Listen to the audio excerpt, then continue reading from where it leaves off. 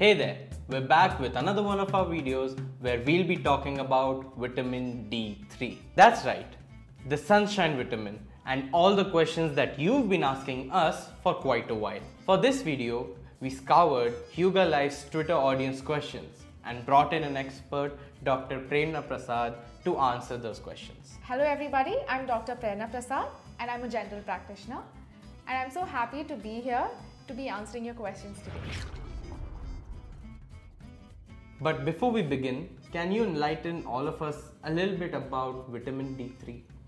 So, vitamin D3 is a very essential vitamin for our body. It has its own actions, but the interesting thing is it also helps in the absorption of calcium and phosphorus.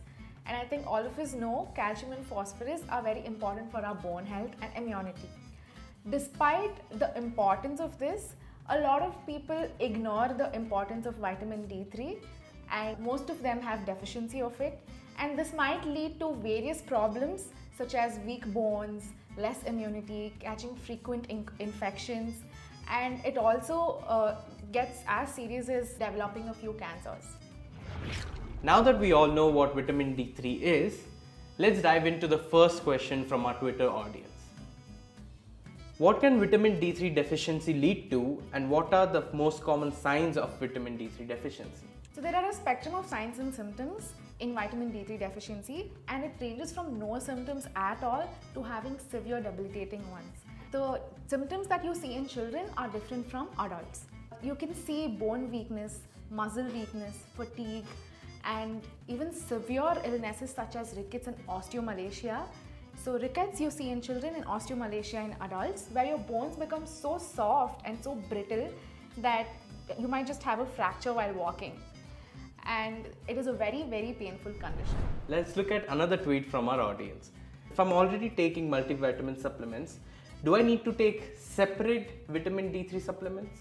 So here's the thing, although most brands contain enough vitamin D3 in them, some of them do not have the recommended dietary allowance in it.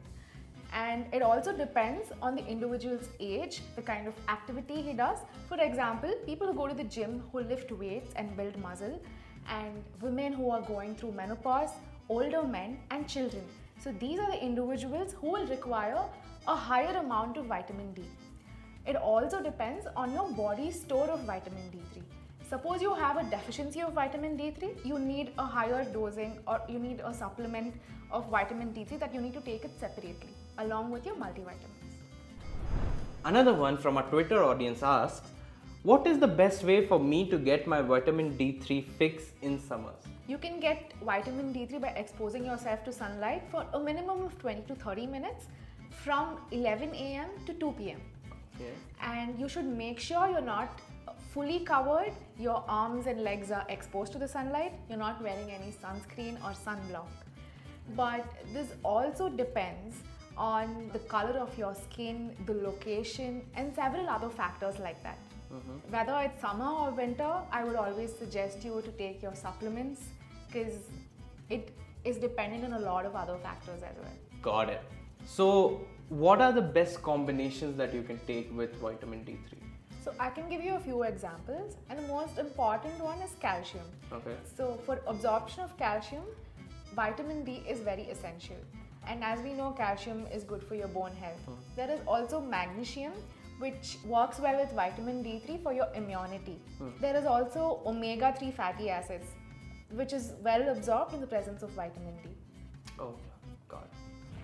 So, another one from our Twitter audience asks Is it possible for me to overdose on vitamin D3 from sunlight exposure? No, you cannot overdose from exposing yourself to sunlight. Although, on very rare occasions, you can overdose by taking too many supplements. Hmm. But if you expose yourself to enough sunlight, uh, right. there is no harm. Uh, but you should be careful of other effects of harmful sun rays like aging, mm-hmm. uh, probably developing more prone to cancers, things like that. Moving on to another question How long does it take for my body to absorb vitamin D3? So it takes around 24 hours for the vitamin to reach a maximum level in your blood. Right. But you should always ensure you're taking it along with a meal that contains some amount of fats. Right. And this is because vitamin D is a fat soluble vitamin. Okay. So, in the presence of fats, it is soluble and it is uh, absorbed better in your gut. Hmm. All right, got it. And our last question is What time is the best time to consume vitamin D3 supplements and should they be taken on empty stomach or with food? Good question.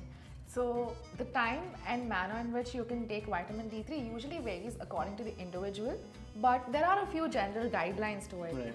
As I already mentioned, it's always better you take it with a meal that contains a good amount of fats in it. Right, right. And it's always better if you take it in the morning and at the same time every day, so your circadian rhythm gets used to it and uh, sufficient levels are maintained in your blood. Thank you, Dr. Prasad, for giving us your expert insight on such a vital nutrient and its health benefits. Thank you so much. I had a lot of fun answering your questions. I hope I helped. Definitely, definitely. And if you guys like such kind of content and want to watch more informative videos in the future, subscribe to HyugaLife and like this video. And to have your question answered in future videos, comment down below. Do not forget to get your daily dose of vitamin D3 from hyugalife.com. It has a varied range of selections tailored to suit your lifestyle. Until we meet again, take good care of yourself and stay healthy.